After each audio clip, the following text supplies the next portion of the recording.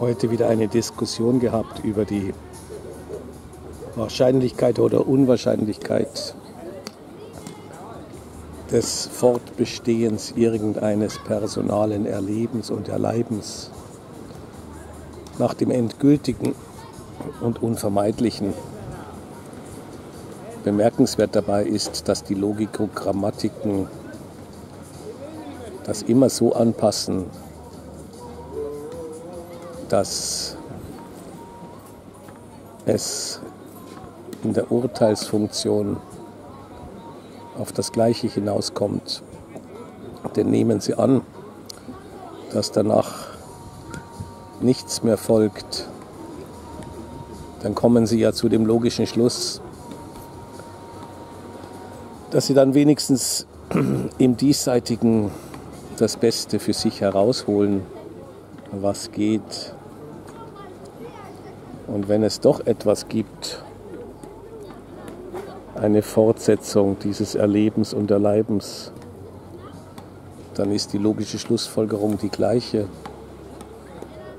Wenn Sie nämlich das Negative erwarten, dann wird sie das im Jenseitigen einholen und sie werden das Negative Erwartete erwarten dürfen.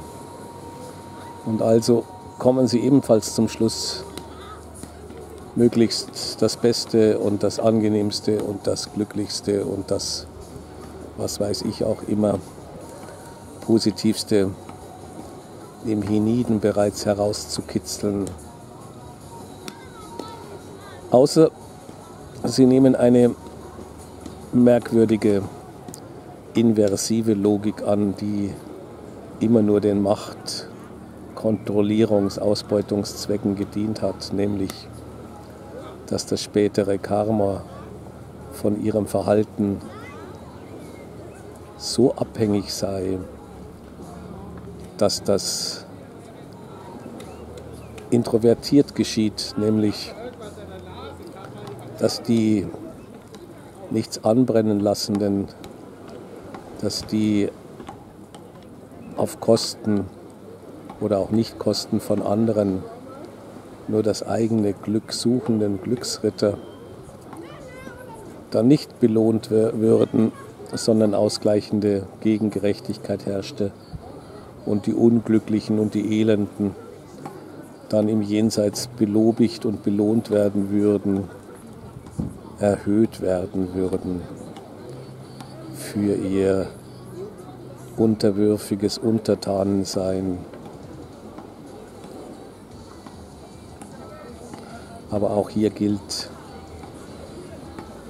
egal ob es sich um das Paradies, um das Karma, um eine andere Fort von universalen Aufbewahrens des persönlichen Erlebten handelt oder ob es sich sogar um die Hölle handelt.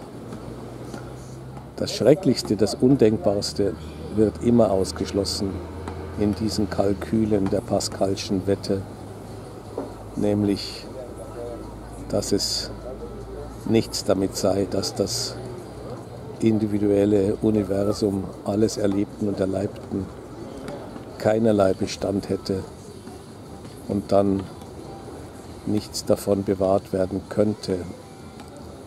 Das bleibt so undenkbar, dass alle Weltanschauungssysteme und alle Religionen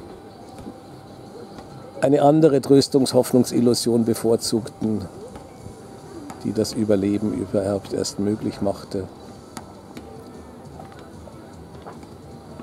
Egal, ob es sich auf der Luxusjacht oder im Jammertal fristen musste.